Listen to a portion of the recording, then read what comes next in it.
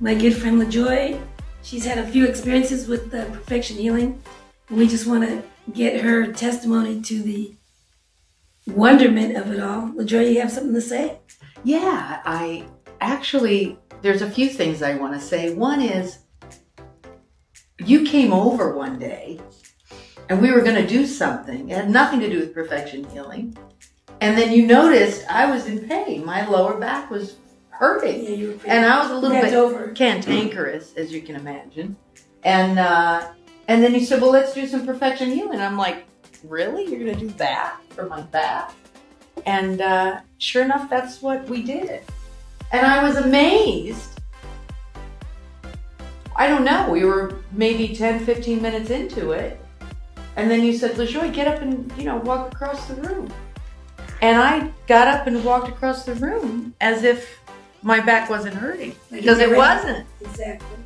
So it's amazing what I mean, and we've done a lot of sessions at different intervals in my in, in the last few years, and you know that whole thing about psychosomatic.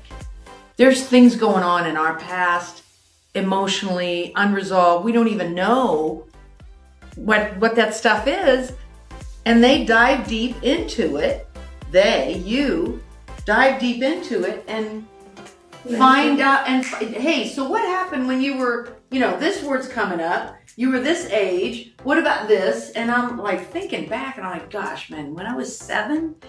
Oh!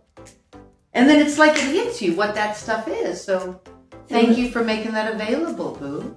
Thank you for being available to yeah. Do it. With. So there again, these are the benefits of doing perfection healing. You find the the dis, dissonance in the charts.